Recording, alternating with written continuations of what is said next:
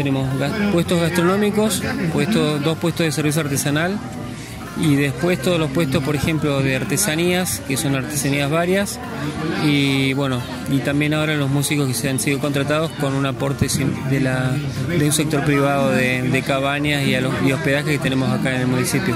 En las últimas ediciones se ha logrado lo que buscábamos, también la integración también de la familia de San Francisco y ahora también acompañado de muchos turistas que se dieron cita justamente para ver este tipo de eventos, que como vieron hoy es sumamente familiar, este, la gente tranquila, los chicos juegan, en fin, es un reflejo de lo que también San Luis ofrece como, como turismo. ¿no? ¿De qué se trata este emprendimiento? Se llama Monte Gourmet, hacemos eh, hamburguesas de carne, veganas, eh, todo con pan casero, las mayonesas caseras. En verdad inició como un producto congelado y aprovechamos la feria gastronómica para salir, para que conozcan el producto. También hacemos chipá, falafel, hacemos prepizzas integrales, trabajamos con harina integral y orgánica. Bueno, nada, hacer un producto más saludable y más consciente. Y nos sorprende la cantidad de, gente interesada en el producto sano, que tiene. Muy contentos.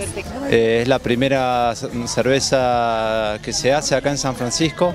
Y tratamos también de, meter algunos sabores del monte para darle esa identidad de, las sierras. Eh, la cerveza la hacemos con agua pura de las sierras, así como, como baja, eh, sin químicos, sin nada. Así que incorporamos también la algarroba, hacemos una cerveza roja con algarroba y una negra con poleo que hoy trajimos para, vender. La verdad que es eh, muy importante, me parece, para el turismo como para los productores también.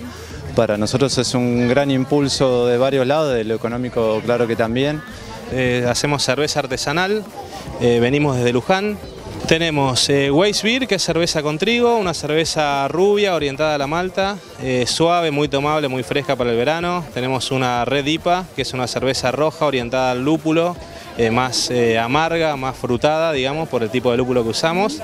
Y tenemos una cerveza negra, una Imperial Stout, que es más orientada al café y al chocolate y una cerveza con mucho cuerpo y un poquito más de alcohol que las otras. Y creo que esto perfila hacia un turismo gastronómico, hacia un polo turístico importante dentro de la provincia de San Luis.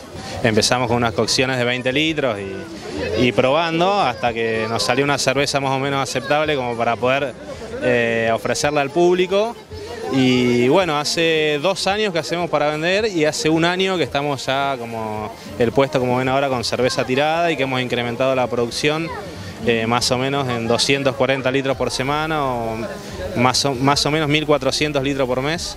Siempre así, me gusta el clima, el aire. ¿Siempre he venido? Sí, he venido casi todos los años, sí. Lo regional, eso me parece muy bueno, muy positivo.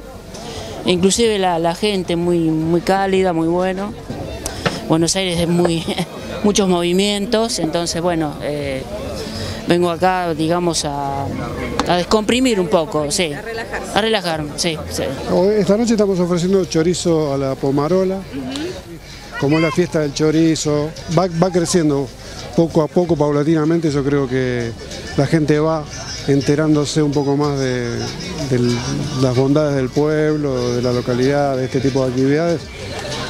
Eh, cuando yo me fui a estudiar a los 17 años éramos 1.500 habitantes y ahora el pueblo creo que está, debe estar alrededor de 7.000, calculo yo, un cambio muy grande. Y lo que me decían que hace muchísimos años había 8.000 habitantes acá, en el año 50 y pico.